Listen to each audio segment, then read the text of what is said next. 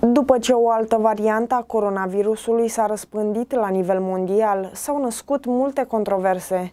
De la cele mai negative ajungem la cele mai pozitive, întrucât anumite cadre medicale au afirmat că noatul Pino Omicron ar putea însemna sfârșitul pandemiei. Medicul Radu Țincu, medic primar terapie intensivă toxicologie la Spitalul Floreasca din capitală, a explicat că tulpina delta determină forme ușoare și medii de boală, ceea ce ar reprezenta un avantaj. De asemenea, datele din acest moment arată că și vaccinurile își păstrează din eficiență. Dacă într-adevăr se va dovedi că această variantă virală este mai blândă și va produce forme mai ușoare decât delta, este posibil ca acest lucru să determine acel scenariu în care care vom coabita cu mult mai mare ușurință cu ea și va deveni o infecție banală. Aceste afirmații ne duc cu gândul că Omicron ar putea însemna sfârșitul pandemiei. Nu, nu mai credem nimic, unii spun una, unii spun alta, în final, în final, ne-a dezorientat de tot. Mă înțelege, nu, nu știu ce să spunem.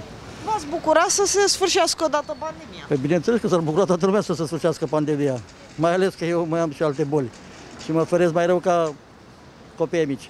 Să scăpăm de asta, adică să scăpăm de ce spun așa.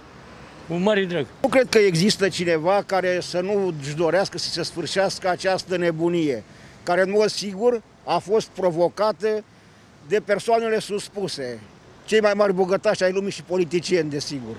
Fără discuție, n-a venit din cosmos, așa, ci e provocată de persoane care nu le mai ajunge pământul.